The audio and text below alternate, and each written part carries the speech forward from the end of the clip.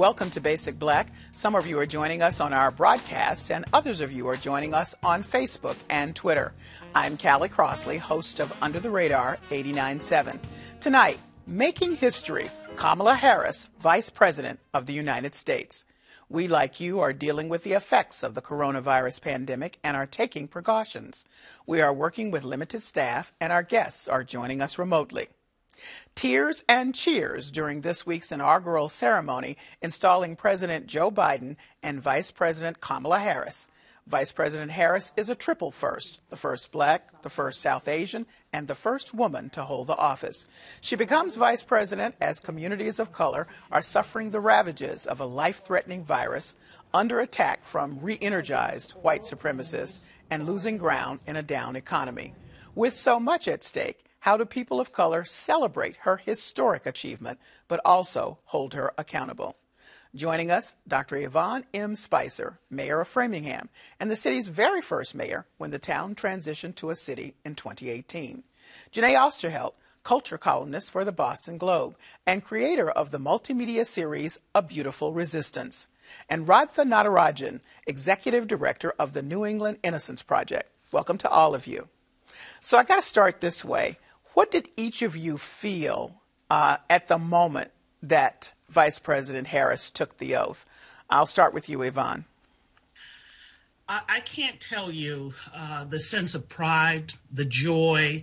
I, I, vacillated between smiling and crying at the same time. And, uh, you know, because I knew the ancestors were watching. All of the ancestors were clapping and cheering her on. And all of us around the country, uh, women, uh, you know, African American women, Asian women, um, just all what she embodies. And um, we, we are just thrilled. And I know I felt such a sense of, of pride. Uh, a real great day. Radha?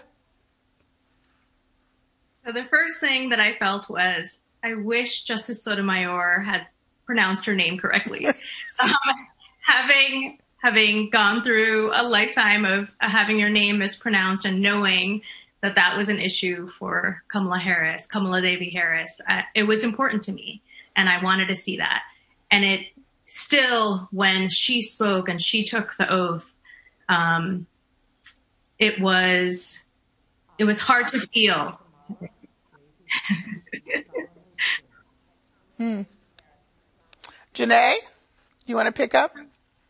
Well, it was it was so many things at the same time. Like I was excited.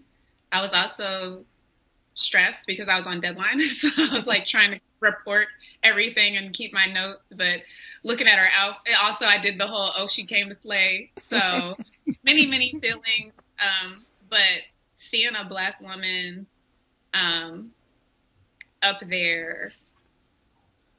It, it, a black woman from an HBCU, a black woman of the Divine Nine, you know, AKA oldest and first, it's just she brought so many things with her, and then to have Thurgood Marshall's Bible on top of her other mother and all of us who grew up in, in black communities and brown communities alike know how awesome it is to have the neighborhood auntie. So it's like to have that Bible too. It, um, I just feel like she brought a lot of us for as complicated as a woman that she is, she brought us with her in that moment. And it was very intentional in her choices from the black designer to two black young black designers that dressed her to the Puerto Rican designer that did the pearls. I mean, everything was so intentionally done to bring us with her.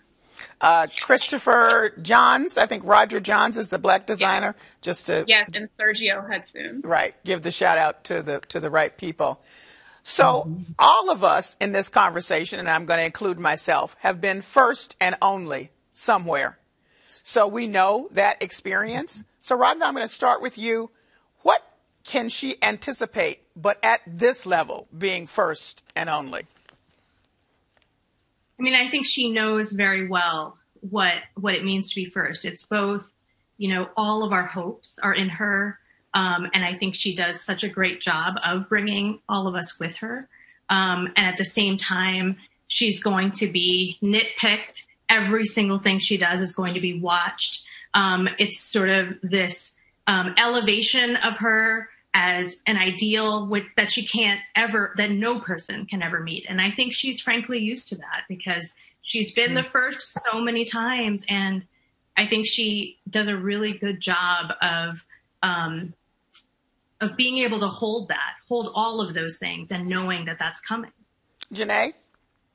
I agree. Um, she's been the first and only many times before. Like I'm sure all of us you know, talking today have been, and many black and brown women have been um, the first and only in the room so many times. And, you know, the stakes are high and the criticism's higher. Like any mistake she makes will be 10 times as worse as something that a mediocre white man does, you know, down to, I mean, the Vogue cover. I mean, anything she does is going to be amplified and just picked apart in every single way. It's almost, you know, when you are a black woman in the spotlight like that, you don't, they try to strip away your humanity. Um, to, to your point, it, it's, it, she's, everything she does now is because she's like this, both a superhuman to some and a supervillain to others. Mm. And that's, I think she's used to it, but I also think none of us fully, I mean, we're still human. So you know, I just hope that the people around her continue to support her and leverage her. And I think we can hold her accountable, but also defend her when things are clearly racist and sexist. Yvonne. You know, uh, you you both hit it on uh, on the nail. Uh, you, you, know, because when you are a woman uh, uh, of color, an African American woman, and certainly being the first, uh, I am the first mayor of my city, and everything you said has come to fruition. But I think the saving grace is, I think, with with age comes further grounding and wisdom and, and knowing who you are and whose you are um, certainly propels you in this job and, and you you do anticipate the the criticism. Um, but I also say having that support network around you it becomes critically important. And you know that she does have that you know being uh, an AKA uh, she's got a whole army behind her. And so I look at it as uh, it comes with the job. It also is a very difficult job at a very difficult time, a critical time. And uh, you're right. Every step of the way, uh, she's going to be, you know, watched, judged, and uh, you know, and we just need to be there to support her and and support, uh, you know, President Biden in, the, in their leadership because I think we, we are at a reckoning time in this country, and I think it can make a huge difference leveraging the power of Black women. So let's break down this this intense scrutiny that you've all said is coming her way and coming her way um, intensely. Right. The, one of the things that you mentioned was here she is. She's a symbol um, of a group, all of us, but yet she's an individual. So right away, you know, you're in trouble because just breathing, you, you're going to upset somebody or not do the right thing. So I'm clear about, or maybe I'm not clear, and you should say as a way of answering the second part of this question, which is what we can expect from the racist. That's that's you know how do you expect that to come? But there's going to be a lot of intense scrutiny and not some kind things said to her up from the communities of color. Um, and what do you expect uh, that to look like? So, Radha, I'm starting with you. So, I think you know, I don't think we need to spend a lot of time on what the racists are going to say about her. I think we already know that. I think we've already seen that. So let's not even spend time on that. Okay. I think what we really need to talk about is, you know, so she whole she has she makes us feel that things are possible, and that's huge, right? That just that feeling of knowing that you know all of our multicultural families, our daughters, you know, it's that there's hope for us, there's possibility. In addition to that, she has a history where the policies that she endorsed and that she presided over as a district attorney, as an attorney general, harmed communities of color. But I think the point, I think one thing that's important is right now we are traumatized. And I'm not sure when we will feel ready to not just to, to, to come out of that trauma and actually hold her accountable. I think I think we have to do that. I think it we owe it to her and to all of our communities to do that. But I think it might be hard to do that right now because we just feel a sense of relief that we need. We need that joy right now. Mm-hmm. Um, Yvonne Spicer, Radha makes an interesting point. Um, there are some things to be quite critical of her in terms of her prosecutorial past. That was an issue when she was campaigning for president. But as uh, Radha says, we're on a we're at a time of extreme trauma too because of all the other stuff that I mentioned at the beginning of the show. So mm-hmm. how do we then uh, begin to hold her accountable, or do we? As do we give her a moment? You know, uh, well, she's she's going to be held accountable for sure, no matter what. But I do agree that you know we don't want to give those the uh, the uh, the opposition ad, ad, adversaries too much airtime because this this wor- the work that is ahead of her is so important, and there's so much healing that needs to happen and bridging the divide. And so if we're focusing our energy on moving the needle forward and bridging the divide, and I do believe the ability to listen, the ability to hear, not only those that have been supportive of her but those who have been adversaries and listening very carefully. And I believe she has that power and that ability because just looking at her life, you know, it is it is a cross sectional of, of people, races, cultures, and she can bridge that divide. And I want to give her a fair shot at doing that. Janae. I, I guess I feel a little bit different. I don't think any one person can bridge the divide. I think it's like a collective action that has to be taken. And I think, I think it, no one is running away from her prosecutorial past. I feel like when she was running for president, it was nationally discussed. And then when she became the VP pick, it was nationally discussed. And on Inauguration Day, you know, any number of abolitionists and activists spent most of the day talking about it more. So I actually don't think mm-hmm. the Black community and the activist community has shied away from holding her accountable for the last year and a half since it's become a possibility that she'd be in the White House on, on some level or another. I do think that we can have joy and celebrate um, and also recognize that both of those people are conservative Democrats. They are not radical progressives. Um, and for me, I don't think it's about saying, look at all these terrible things you did, because we've been doing that for a year and a half. Like, mm-hmm. it's not like we're deaf, like, she knows we know, like, it's been discussed. Um, for me, it's she's here now. She's in the White House, and so is he. So, what are we going to do to collectively keep them delivering what they promised? How are we going to keep them from writing bad checks? Of equity, justice, and liberation. And mm-hmm. to me, that's not so much about saying, and you did this, this, and this 10 years ago. It's about saying, how are you going to show me as, as uh, our Congresswoman, Ayanna Pressley says, policy is a love language. So how are you going to do that? And how are we going to do that with our little votes? You know, our everyday votes that make a difference in who is representing us and and make sure that power is democratized. So for me, that is what accountability will look like going forward. So let me pick up on that, uh, Jeneé, and ask you to respond to this and everybody else. All of you said in some fashion that the mistake made with President Obama was the awe of the historic achievement and feeling as though, whoo, he got there, that's big enough. And then not doing the collective follow up that Jeneé says is so important. So, what uh, what are you looking to see that measures there is collective follow up and and some in response to that collective follow up? Jeneé, I'm going to start with you. What can those in the collective do um, so as not to be awed by the moment and get distracted by that and consider that to be the achievement? Part of it is like love her the way your family loves you. Your family loves you, but they don't hesitate to check you checking someone is a love language. Like, mm-hmm. so part of it is that. And then the other part of it is what happened in Georgia. Like, we can't just look away and say, whoo, it's fixed because it's not fixed. It was never fixed. It's it's infinitely broken and the work is lifelong and it just passes on to the next generation. Mm-hmm. So it's like do the little votes.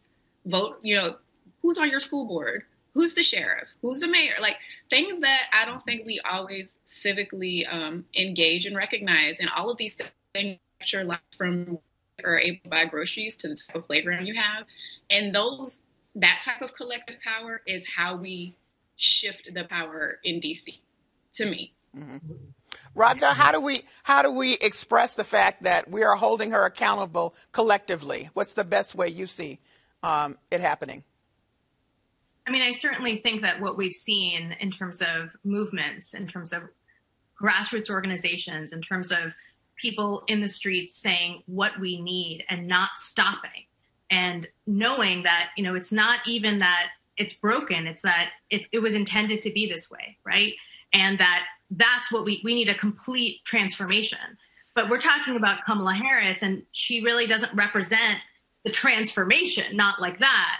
Um, and so I think, you know, to Jeneé's point, I think that, you know, there are folks who are now in the administration who do believe in transformation more than she does. There are people who uh, who are now elected um, to the legislature who believe that. There are people locally. There are district attorneys um, that we can hold accountable. There are, you know, so there are things that we can do in our communities. Um, but I will say that, you know, while we do know her past and we can't keep harping on that, you know, I don't know that she's really. Mm. I don't. I don't think that she's really. Uh, owned up to those things. And I think when we talk about truth and reconciliation and healing, I think she needs to see and recognize the harm that was um, that, that she really did preside over. Yvonne, how would you add to that?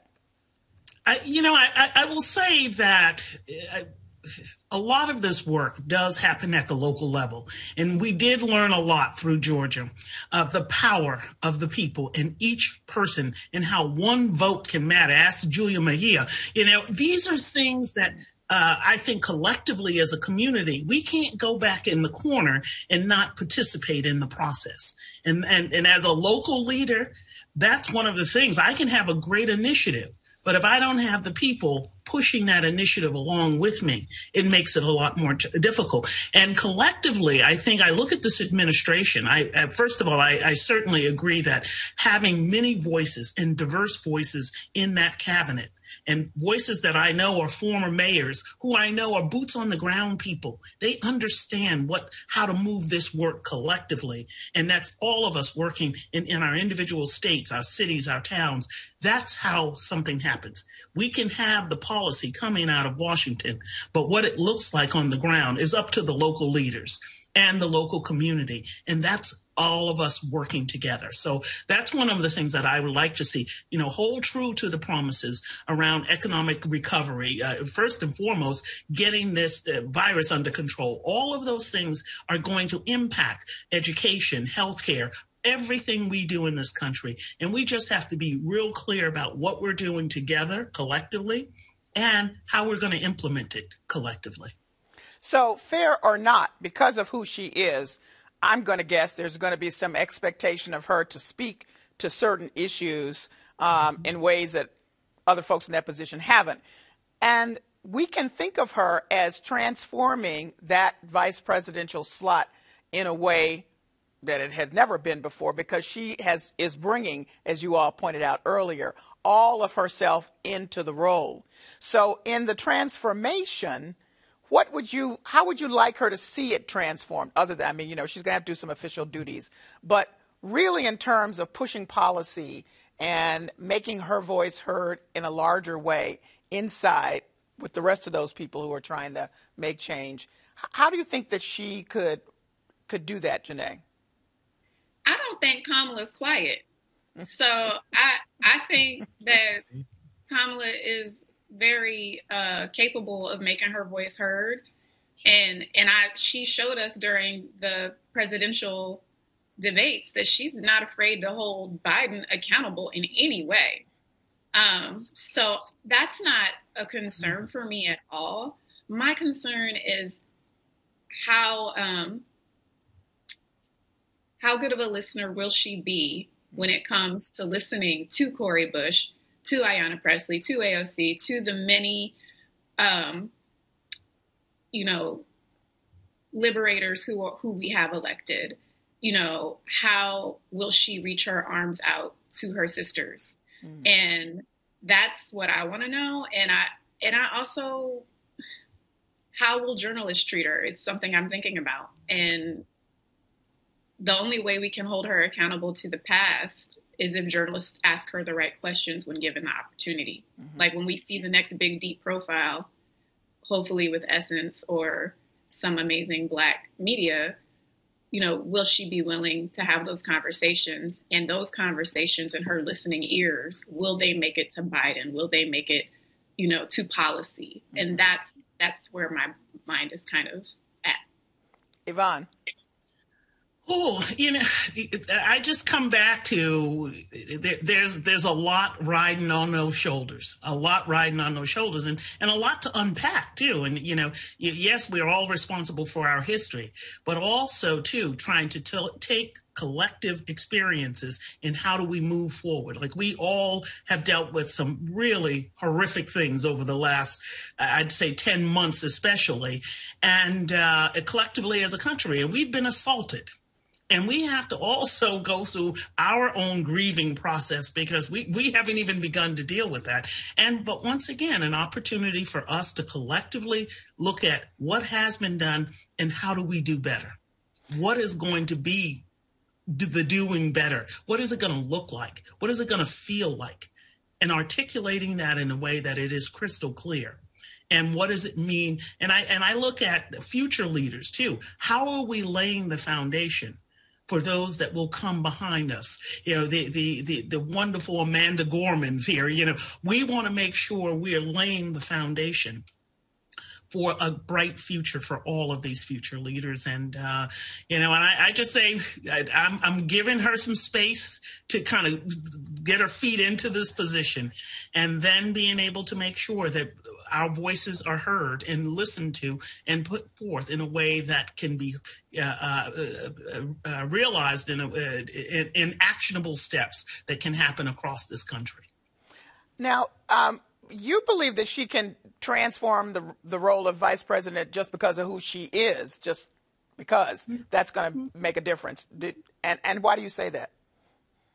Uh, you know, I say it because first of all, we, there, when you are the first, and there's no roadmap. You get to create it the way you need it as the first woman ever to be in this seat and, and coming with such a wealth of experience in her life too. You know, she gets to bring all of that with her. Um, and so I, I think she has an opportunity to be an influencer and an influencer across all uh, different divisions, uh, you know, the cabinet, but also throughout the entire uh, federal uh, uh, process here too. So I just, you know, I, don't want to uh, I don't want to put too much on her shoulders, but I don't want her to be shortchanged. And you know, because tr- traditionally the vice president role is one that is behind the president.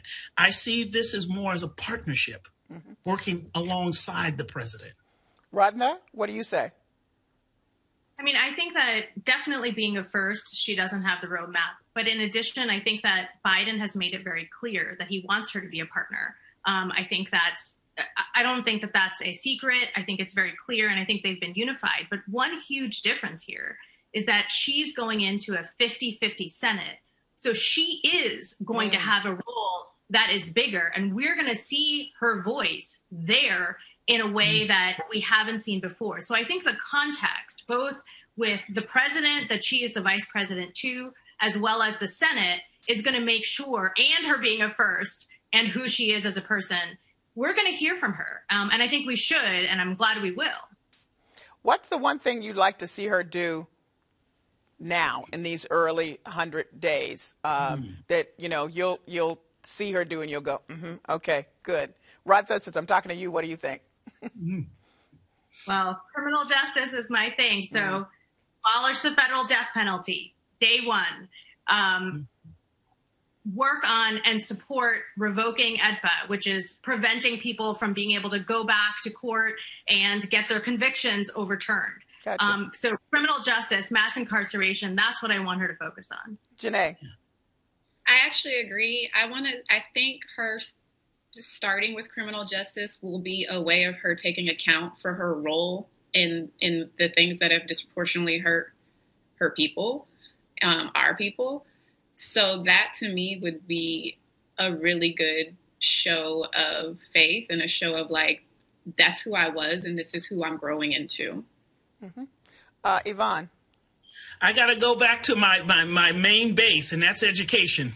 Um, because truly, when when children and particularly children of color are given those great opportunities to be educated and to have uh, equitable equitable education in this country, we can avoid a lot of other ills such as poor health care, uh, incarceration, all of the things that limit particularly black and brown children. Um, so I would love to see uh, some energy put into uh, uh, dollars for education, quality teaching, encouraging people to be teachers, to be in the classroom, and especially looking in areas of STEM education, science, technology, engineering, and math, and building pathways for our children to have brighter futures than they are having right now.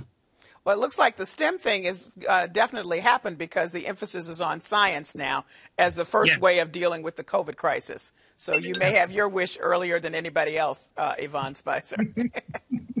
I'm hoping. All right. Well, that's the end of our broadcast and the end of our show. Thanks to all of our guests. Thank you for joining us. Stay with us as we continue our conversation on Facebook and Twitter.